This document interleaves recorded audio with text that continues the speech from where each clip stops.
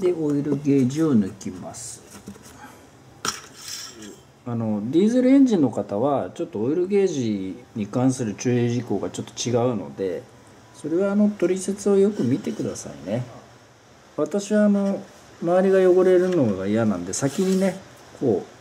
うウエスでオイルゲージを挟みながらこう拭き取ってあげながら抜きますね。もう一回突っ込んでねオイルの量とか点検すればいいだけなんで。でまあこれも別のオイル交換の動画で説明済みだと思うんですけどもこの点が見えますよね。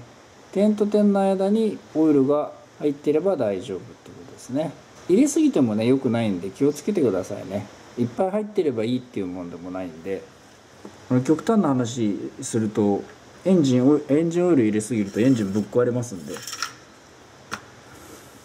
これでそーっと抜いてちょんと。今これオイルの量分かりますかね？あんまり先端をね上向けちゃうとこうオイルが上が垂れてきちゃうとあれなんで。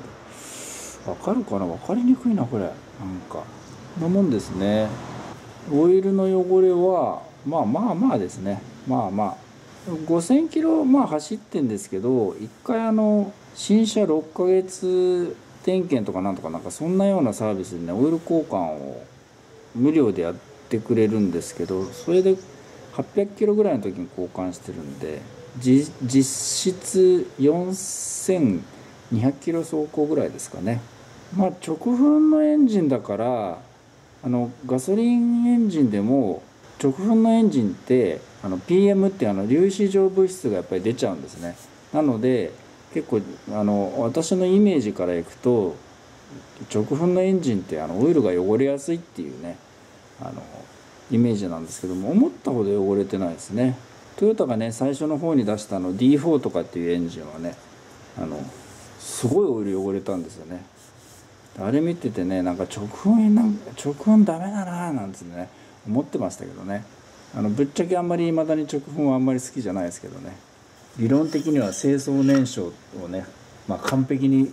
清掃燃焼させる技術がまだ確立されてないと思いますんでまだまだねだからなんかスポーツカーのターボエンジンとかはねいまだにあの直噴は採用してない車もありますんで、まあ、なかなか難しい技術だっていうことでしょうね。でまあオイル交換するんでこうちょっとねこれを引き抜いといてあげるかこれを緩めといてあげるかしてください。これフィラーキャップですねオイルのね。で前もなんか FD3S のオイル交換の時に言った記憶があるんですけどオイルがね冷えてないうちに抜こうという時はこれはあのこれ外したり抜いたりしない方がいいですよね。ドレーンプラグを緩めた時にもう勢いよく出てきちゃうんでこれ閉めとくとねあのある程度勢いが弱められますんでそういう場合はこれをここから空気が入らないようにこっちは閉めてこっちは入れといてください。まあ今ジャッキアップしてますけどこ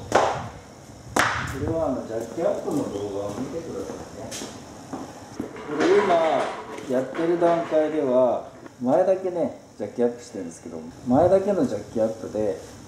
オイル交換できるかどうかちょっとね分かんないんです。で一か八か今やってます。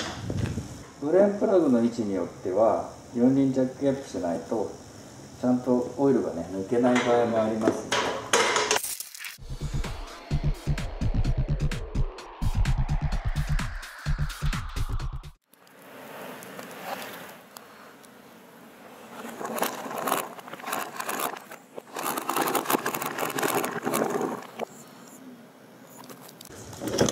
グリップを取りましょうか。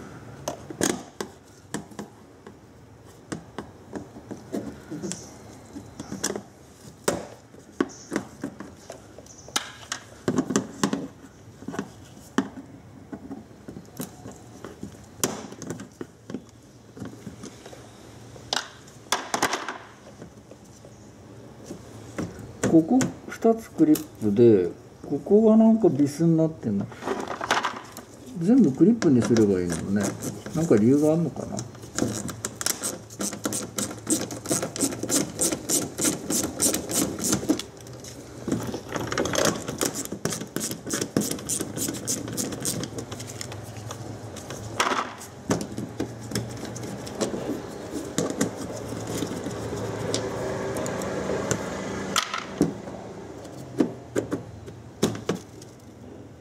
あ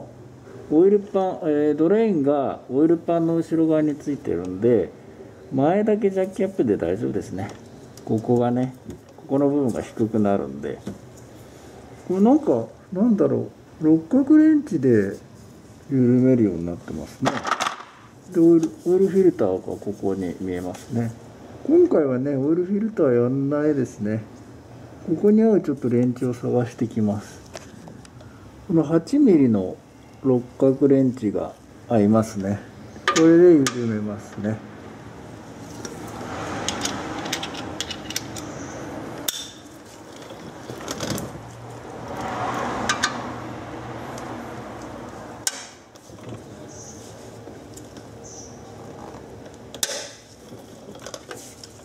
ちょっとカメラが邪魔なのでちょっと移動します。まだエンジンオイルが若干あったかいんで